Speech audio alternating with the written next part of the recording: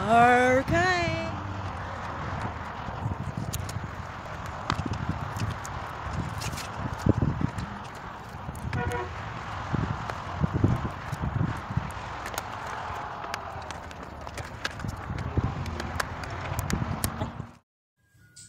And ta-da! There's our unicorn kite.